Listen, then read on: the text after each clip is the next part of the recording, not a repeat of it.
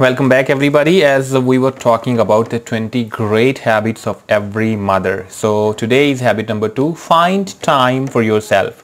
अपने लिए वक्त निकालें to fill your cup of coffee see what happens कि हमारे यहाँ माएँ, और ये अच्छी बात है, मैं समझता हूँ, ये जबिलत है कि वो अपने बच्चों की देखभाल में, उनकी परवरिश में इतना मगन हो जाती हैं कि वो ख़ुद को ही भूल जाती हैं।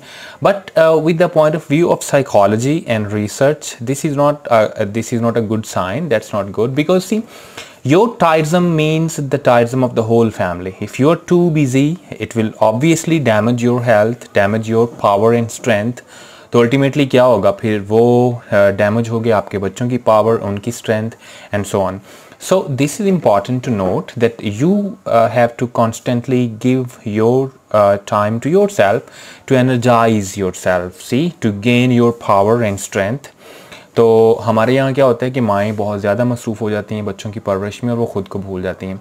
सो so, रिसर्च uh, के पॉइंट ऑफ़ व्यू से एक माँ को अपने लिए वक्त निकालना चाहिए। मे बी हफ़्ते में एक दो बार ही सही to go with her girl friends to pamper her energies and time to herself to rest and uh, let the children let the uh, children play be busy with their own uh, activities and you take rest so that आप अगले वक्त के लिए अगले हफ़्ते के लिए अगले दिन के लिए अपनी पावर्स को रीगेन कर सकें. And although I understand that after you become a mother it's not you know uh, roses and butterflies. लेकिन does does it mean that you should forget yourself? No absolutely not. आपको खुद को भूलना नहीं चाहिए। uh, आपको अपनी शख्सियत को एक अलग एंगल देना है उसको एक अलग मकाम देना है।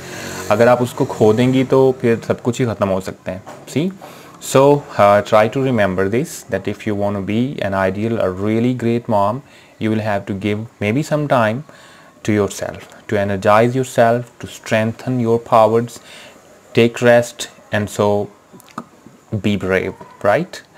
So that's it for today. Uh, we will discuss the habit number three in the next video. See you next time